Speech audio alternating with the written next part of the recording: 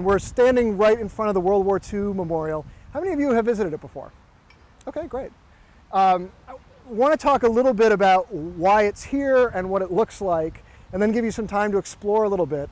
But I don't think you can really understand why the memorial looks the way that it does without knowing a little bit about a totally different memorial, the Vietnam War Memorial. So how many of you have been to the Vietnam War Memorial? Great, just about everybody. Um, what have your experiences been? Very somber. Somber, absolutely. More, Pardon me? more, more dark. I want Dark? dark. I want, you know, Yeah, no, I mean it's it's it's somber, it's dark. Yeah. emotional because we did have we looked in the little book for the names Right. of relatives. Yeah, I mean, it, it draws you in. It can be incredibly emotional because it has become a destination point for a lot of people who served in the Vietnam conflict. Uh, people leave things there. They'll take rubbings of people they knew. It's interactive in a way that um, not many memorials are. It has its own really interesting story. The story of the Vietnam Memorial goes back to the mid 70s. It was, uh, it was a project started by a veteran of the Vietnam conflict who saw the movie Deer Hunter, which took him back to his own experiences fighting in the war. And he said he stayed up all night, and then the next morning he told his wife that he was going to dedicate himself to raising money for a memorial to the people that he had served with in Vietnam.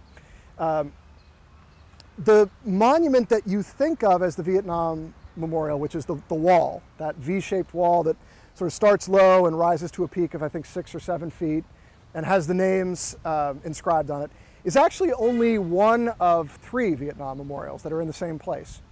And in 2012, we know this as one of the most moving monuments, a place where people you know, will come from across the country to connect with it. It was incredibly controversial at first, um, and that's a part of the story that we often tune out, but it has a, a backstory. So as they raised money, they began to solicit designs for the memorial. And I talked to you guys this morning when we were at the Grant Memorial, and we've talked a lot of times about all sorts of historical sources that things are made.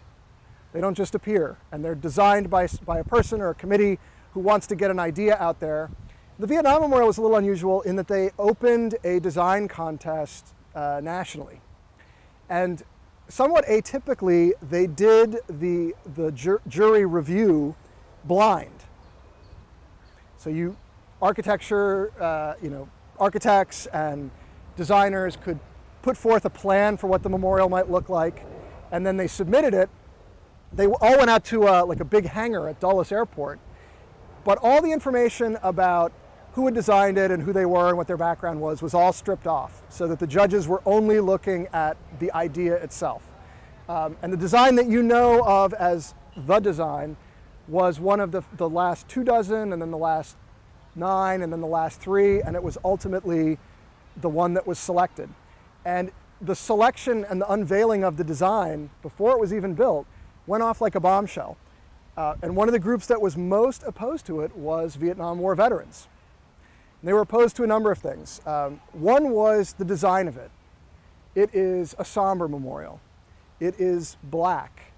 It is anti-heroic, I think, in some ways. Did anybody, uh, as we were walking over here on Constitution, happen to look over at the, the statue of the gold arm holding up a sword with flames?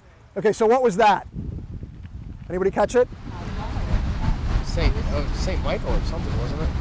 Saint It was for World War One. Okay. Was it Second Division? It was a monument to the 2nd Infantry Division and its losses in the First World War. And so you saw the arm holding up the flaming sword and then a list of all the battles that the 2nd Division fought in. That's much more of a kind of typical classic war memorial. You know, you put up a leader or you put up, uh, you know, something, you know, a lion or an eagle or reeds or something that has classical overtones and celebrates the heroism. And that is not what the Vietnam Memorial is. And it was designed very specifically. The designer said, uh, you know, that the design was intended to get people to interact with it. Um, it has the names of all the people uh, that were killed during the decade or so of the conflict. How are they organized? The middle is the earliest, and then it goes out in Okay. They're, they're organized chronologically in the order that the people died. So you cannot go and just alphabetically find the person you want to find. Um, that design forces you to look at a lot more of it than you would if you could just go right to the person you were looking for. You have to look over uh, all of the names or a lot more of the names, and, and it forces you to engage with it. What's the finish like? Can anybody remember? The, it's, it's, the, the finish of the, the black marble is highly reflective. So as you're looking at the names, you can also see your own face reflected in it. That's by design too. None of this was done accidentally. Um, and it's, it, it, encourages you to, to put yourself in the middle of these people, to think about uh, the sacrifice and to think about it in very personal terms.